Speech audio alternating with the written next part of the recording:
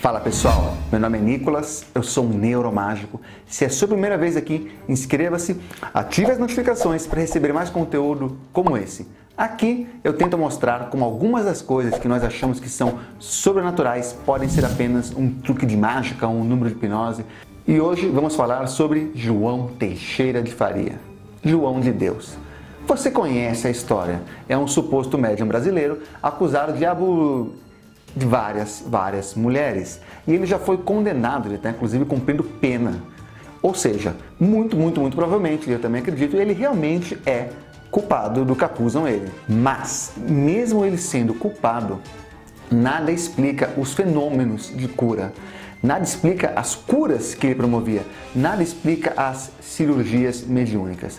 E é sobre isso que nós vamos falar nesse vídeo. O que tem por trás das cirurgias mediúnicas? O principal problema para falar sobre cirurgia mediúnica é que a gente chama várias coisas diferentes de cirurgia mediúnica. Então vamos falar, digamos, sobre alguns tipos de cirurgia mediúnica ou algumas formas de fazer cirurgia mediúnica. Aquelas cirurgias mais assustadoras, no qual o, profeta, pastor, padre, médium, curandeiro coloca a mão na pessoa e tira uma tripa, tira um tumor ou remove uma artéria e aí quando ele passa a mão está cicatrizado, sumiu, não tem furo, não tem buraco, não tem nada. Aquilo é feito de duas formas, basicamente uma usando um acessório de mágico que é uma dedeira. Isso aqui é um acessório muito comum, é, usado por vários mágicos, usado para várias coisas, né, para fazer várias mágicas diferentes, é vendido em qualquer loja de mágica, é vendido às vezes na rua, por mágicos de rua também que fazem suas performances. E como que eles usam isso aqui? Bom, eles escondem aqui dentro o, o que eles vão tirar, né? o suposto tumor, que geralmente vai ser um pedaço de tripa, um pedaço de carne de animal cortado, algo desse gênero. Eu vou mostrar para vocês como que a gente faria essa cirurgia mediúnica. Bem, ó, aqui é uma dedeira, um pedacinho de frango, tá? Poder ser uma carne mais avermelhada eu vou poupar vocês e ver o sangue falso, mas vocês podem encher isso aqui com sangue falso. Então, na hora que for sair, vai ficar bem nojento mesmo. E aqui você vai mostrar, né? A mão vazia e vai fazer supostamente uma cirurgia. A ideia é dar a ideia de que você faz um corte, retira algo de dentro e depois é, o corte cicatriza magicamente, tá? Então aqui você vai fazer todo o procedimento, tal, né? Aí você faz aqui, já deixa a dedeira lá, né? E aí, ó, finge estar colocando o dedo no buraco aqui, ó. Suposto buraco, né? Suposta, suposta incisão, né? Aqui.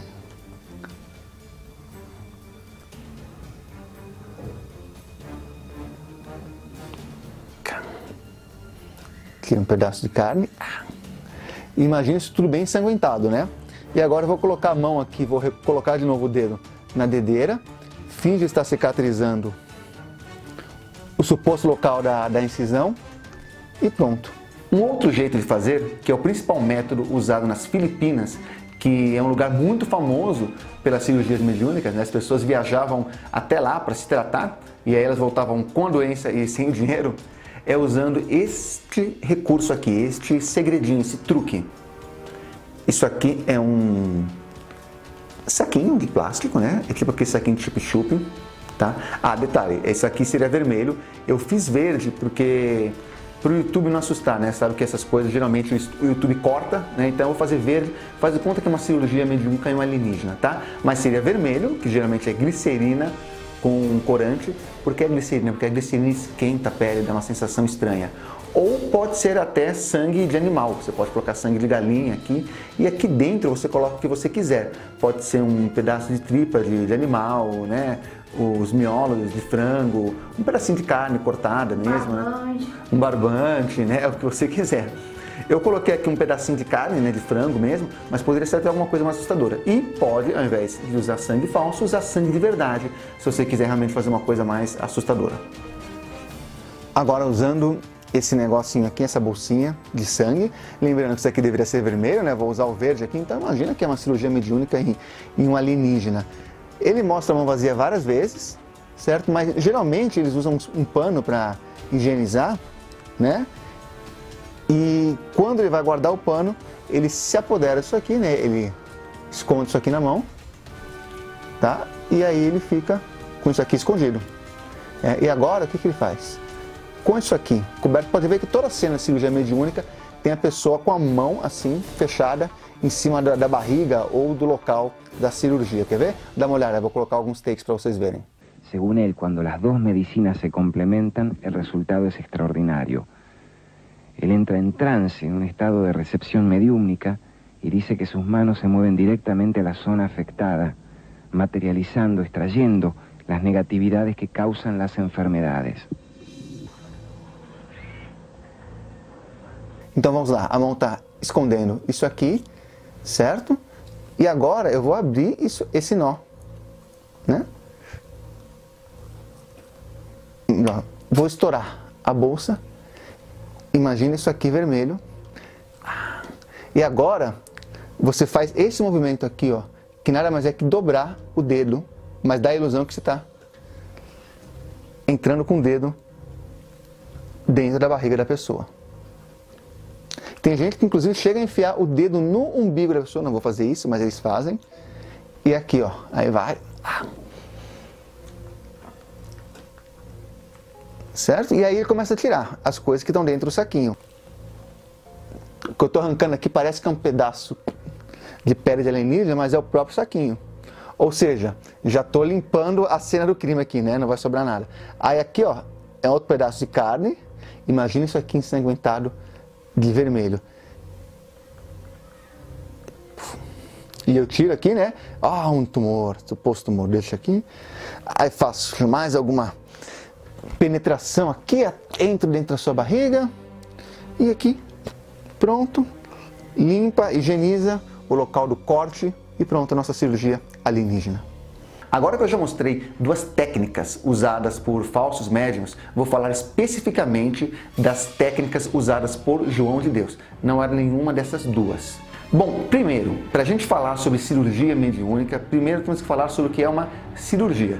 Cirurgia é um processo médico complexo e invasivo tá? Então, frequentemente você ouve alguém falar: Nossa, aquele médium me operou sem anestesia.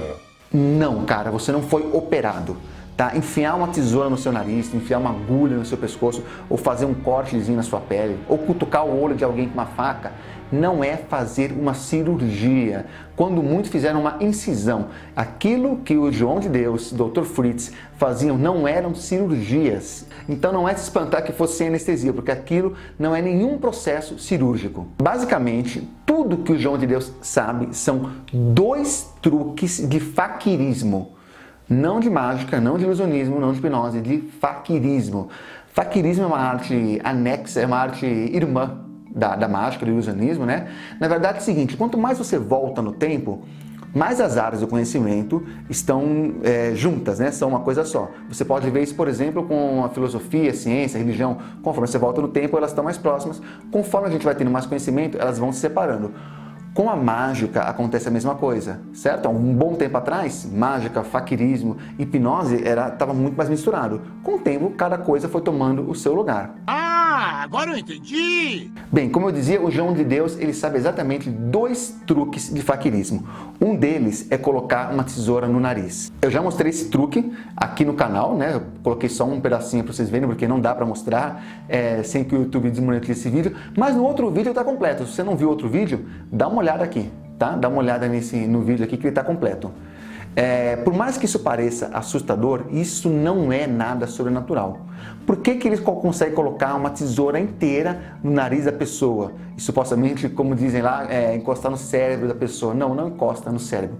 Porque a tesoura ela não é colocada nesta posição, certo? Ela é colocada nessa posição. Para cá realmente não tem espaço. Agora, se você colocar para cá, reto, tem espaço. É só você olhar para um esqueleto, certo? Quando você olha para um esqueleto, aqui é um buraco. E você consegue colocar um objeto muito, muito grande aqui. Tá muito, muito grande. Tanto que a gente coloca sonda né, no hospital. Coloca por aqui e vai e dá a volta. Então, colocando reto assim, tem espaço. Dá a ilusão de que está aqui em cima, indo para essa direção mas não tá, ela vai reta. E é por isso que ele coloca uma tesoura. E coloca a tesoura e roda 12 vezes e tira, não acontece nada. O máximo que você faz é incomodar a pessoa e fazer a pessoa escorrer catarro do nariz dela. Inclusive teve alguém que comentou no, no, outro vídeo lá, nossa, você viu que saiu um ectoplasma do nariz da pessoa? Não, cara, era catarro mesmo. Coloca um objeto no seu nariz, cutucando, você vê se não escorre também o seu nariz. E o outro truque de faquirismo que ele domina é colocar agulhas nas pessoas e fazer cortes em partes do corpo que não dói e não sangram. Tá? Os hipnólogos há muito tempo colocam agulhas em partes do corpo, no pescoço, na mão, aqui, e sem que a pessoa sinta nenhuma dor, nem tenha sangramento. E os faquires também fazem isso, mas muito da verdade, isso nem é um número de hipnose.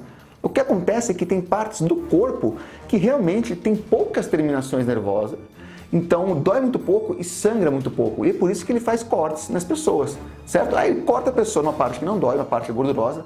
E lembrando que a pessoa está né, no estado de êxtase, aperta lá, coloca um curativo e fala que fez uma cirurgia. Não, mano, não é uma cirurgia. É no máximo um corte, tá? Não, não tem nada demais. Eu vi um vídeo do Dr. Fritz operando o Chico Anísio. Basicamente, a suposta operação é ele enfiando um monte de agulha no Chico Anísio no pescoço, que é uma coisa muito simples de fazer. Eu, inclusive, já fiz no canal, tem vídeo aqui, tá? Na verdade, não coloquei no pescoço, coloquei na mão. Mas o processo é o mesmo. Ui! Au! Nem sequer precisa de uma anestesia hipnótica tá? Porque é, são partes do corpo que realmente não dói.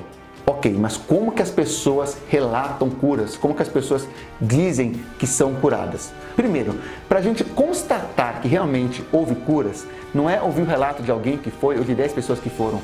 Teria que ter um grupo de controle, ok? Você pegar várias pessoas com o mesmo sintoma, é, 100 pessoas com dor na coluna e 100 pessoas com dor na coluna, dois grupos, ambos com dor na coluna, 100 pessoas são tratadas por, pelo João de Deus, 100 pessoas não são, e aí a gente vê se tem resultado realmente é, o tratamento dele, né? Se realmente as pessoas que são tratadas têm mais chances de se curar. Não é um relato individual, você tem que fazer um negócio com método, tá? Anotando o resultado, anotando é, a quantidade de pessoas que foram, quantas tiveram cura, quantas não se curaram, e principalmente tendo um outro grupo que não se trata com ele e vendo se o resultado é diferente mas é inegável que várias pessoas relatam terem melhorado.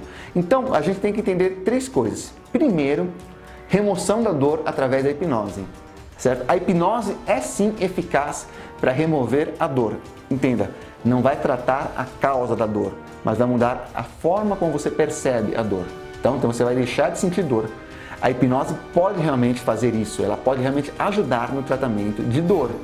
E para você ser hipnotizado, você não precisa passar por todo o processo, ah, como você pode imaginar. Não, basta você ter ali um estado de expectativa.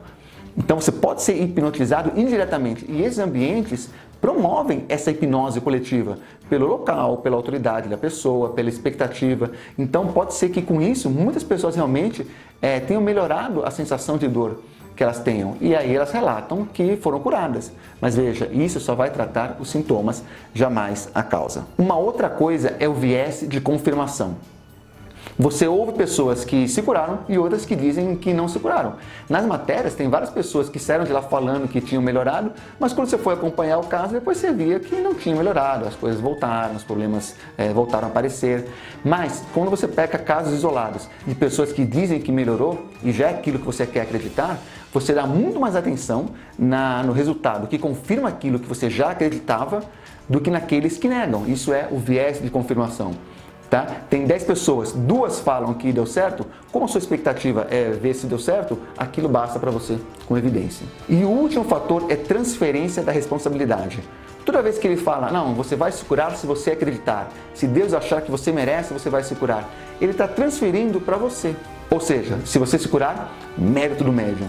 Se você não se curar, a culpa é sua que não teve fé.